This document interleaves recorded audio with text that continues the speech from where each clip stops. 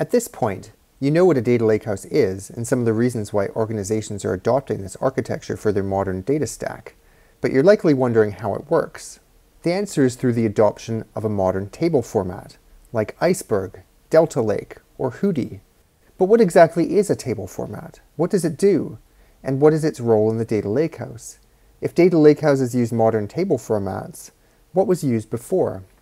To answer these questions, we need to go back before Iceberg, Delta Lake, and Hudi to Hive. Hive was revolutionary in its day. It allowed users to interact with Hadoop clusters using a SQL-like interface known as HiveQL. This was a big improvement over the previous arrangements where Hadoop MapReduce jobs had to be written in Java directly. SQL is the language of choice for many data scientists, and the adoption of Hive allowed data lakes to be queried using this popular language. To make all of this possible, Hive established a number of new technologies and formats, among them the Hive server, the Hive metastore, and the Hive table format. Let's look at each of them one by one. First, the Hive server. Hive is able to analyze data primarily using the Hive server. This service is the part of Hive that uses SQL input and compiles it into a series of MapReduce jobs using Java. Although impressive, this process is inherently slow.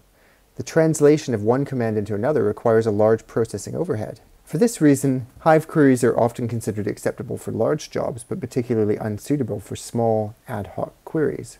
Additionally, Hive captures information about the dataset at the folder level not the individual file or record level. This means that when a query needs to look for data in a folder, it must look through the entire folder to find the data it needs. This is highly inefficient and one of the main drawbacks for using Hive. Next up, the Hive Metastore. Hive stores metadata in a service known as the Hive Metastore. This separate subsystem ensures that Hive is able to locate the data held in the data lake.